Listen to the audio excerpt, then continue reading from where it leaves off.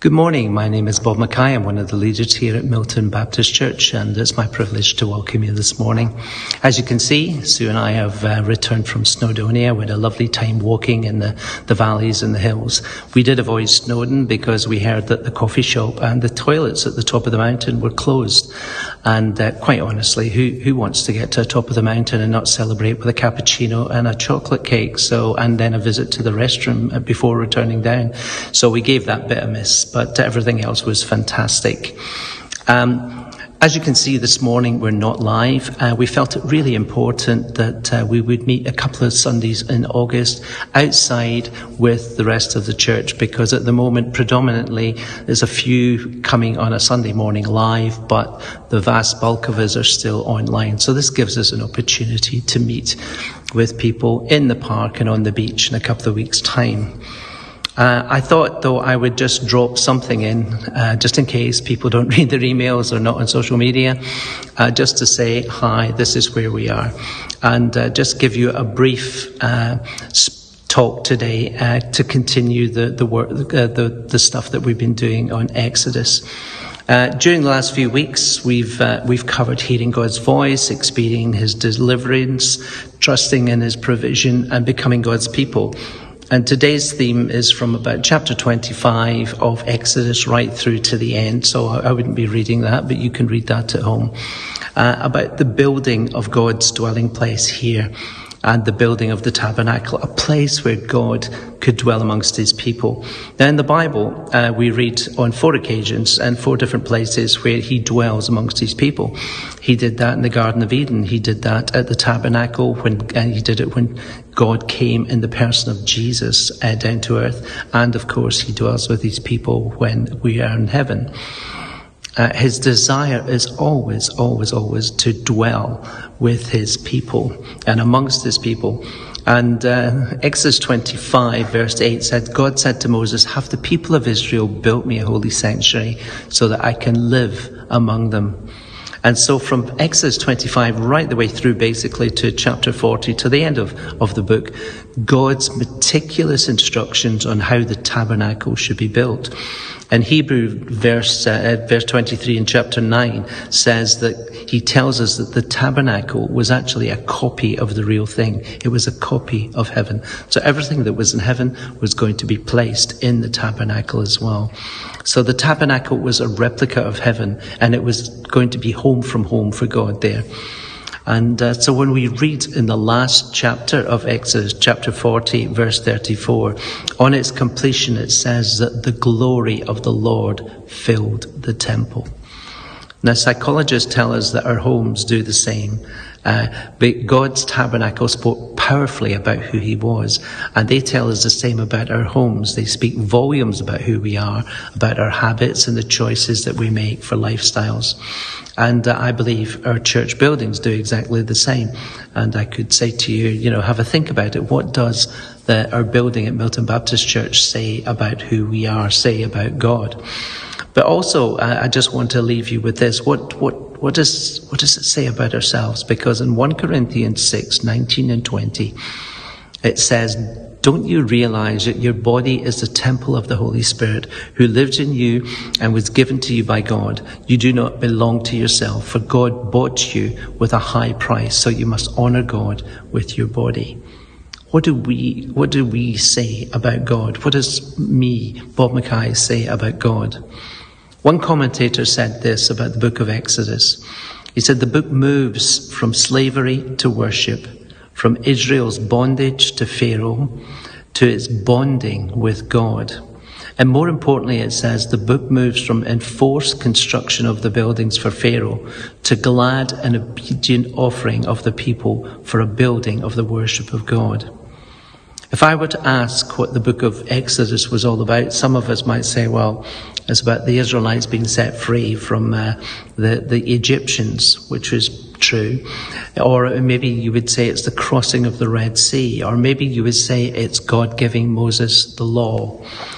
But actually, it's about God wanting to dwell with his people so that they will become the vehicle that will draw others to love and to serve God. And let's bring it back as we close. What about us? What about our church buildings? What about our homes? How do they reflect God?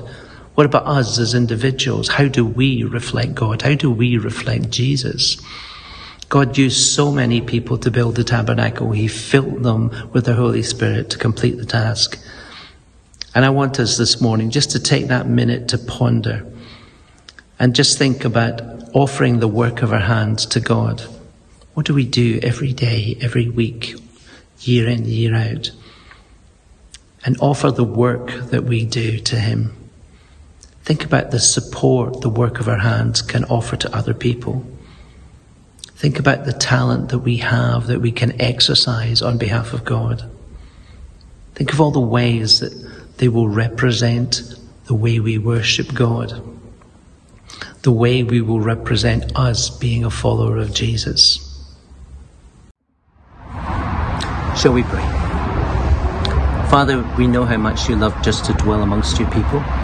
You did it in the Garden of Eden, you did it in the tabernacle. You dwelt amongst us with Jesus when he was here on earth, and you will dwell amongst us forever in heaven. And we just thank you now that you are, haven't left us alone, that you're here, that you sent your Holy Spirit to be with us, to live in us, to lead us, to guide us, to encourage us and equip us to be the people of God. So this morning we just pray that uh, you enable us to be the people of God in our families, in our homes, in our workplaces, and in our communities. In Jesus' name. Amen. Next week we'll be back in the building and uh, we have a very special service of commissioning for Sam Boyle. Sam is about to head off to uh, All Saints Church in Woodford Green, East London, to be the children's worker. So we just want to celebrate with him, pray with him, anoint him, and send him on his way with God's blessing from Milton Baptist Church for his new position at All Saints in Woodford Green. So we uh, love to see you there. If you want to come, please book in for that. And if you're living locally, it's still time for you to pop over to Ash, Ashcombe Park at the top of the hill near the coffee shop, and uh, we'll be gathering there for a picnic at half past 11. See you soon. God bless.